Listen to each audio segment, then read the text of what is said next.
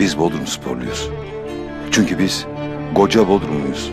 Bodrum'da yaşayan usta ve ünlü oyuncu Nejat İşler Bodrum Belediyesi Bodrum Spor için hazırlanan klibi seslendirdi. Biz Bodrum sporluyuz. Baktığımız her yerde yeşil beyaz izler taşıyan bir şehirde yaşıyoruz. Bodrum'un Gümüşlük mahallesine yerleşen ve Gümüşlük Spor'un başkanı olan Nejat İşler, Spor Toto 3. ikinci grupta mücadele eden ve ikinci lige çıkmak için playoff maçları oynayacak Bodrum Spor için hazırlanan klibin seslendirmesini gerçekleştirdi.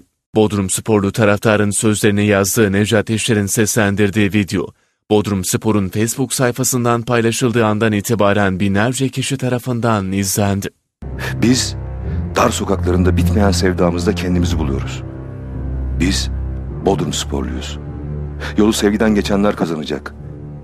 Bizler aynı tespihin taneleriyiz. Yensek de, yenilsek de bu arma için savaşacağız. Biz Bodrum sporluyuz. Şimdi inanın kendinize.